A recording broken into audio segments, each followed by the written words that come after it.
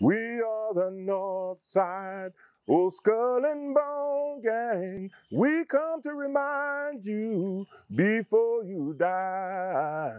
You better get your your life together. Next time you see us, it's too late to cry. Ashes to ashes and dust to dust. Uh, you better straighten up before you come see us. Uh, you better get your your life together. Next time you see us, it's too late to cry. You know, when people hear that, they know they know who's coming. They know what's up. Because our motto is you next. No matter who you are, can't buy your way out of that one. My name is Bruce Sunpie Barnes. I'm the big chief of the Northside Skull and Bone Gang. The Northside Skull and Bone Gang has origins that date back to 1819. We are a group of downtown masking skeletons that started in what became the Treme neighborhood. It's uh, basically the first neighborhood outside of the French Quarter that's uh, just across Rampart Street and was uh, created from land that Claude Treme, plantation owner, started to uh, sell and parcel out as arpents, which is basically the, the structure size of a, a, shotgun house, 33 and a half feet wide and 193 feet long. Started selling land to free people of color. So, that's where we uh, mask at, and that's where the tradition started by uh, merchant marine or sailor that came from the coast of Africa to New Orleans.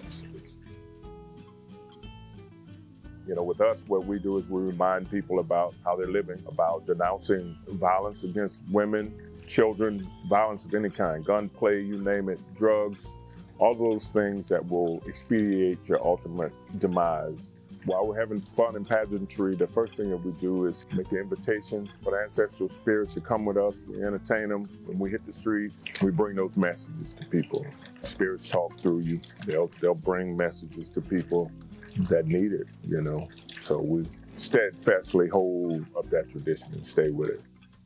People have all sorts of uh, misconceptions about the tradition that we have, they don't they don't really know what it is. Quite a bit of it is uh, a little more like secret society for sure, because we don't show and tell everything that we do. Folks can think it's anything from straight voodoo tradition. It has those elements for sure, but that's not all there is to it. Some people just think it's buffoonery and, and pageantry and they want to kind of emulate it or mock it or do all sorts of things. But we have very direct purpose and strong purpose in what we do and how we present ourselves. In a, a, very particular way. It's an old folk tradition, how we make it happen. Everything from the, the way the suit look to, you know, what we sing about, how we present ourselves. We do all sorts of things.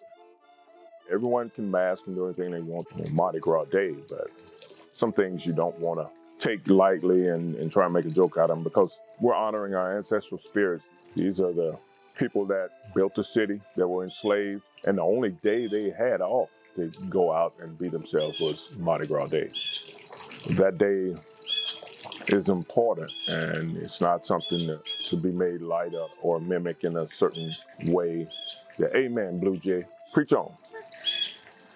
She's saying, that's right, that's right. Uh, but yeah, it's that struggle. It's the blood, sweat, and tears that people have, have put forward to sustain it. And I know that surely as I'm uh, trying to uphold this tradition, that it's not really about me. I'm walking on the shoulders of giants, the people who really suffered to make it happen.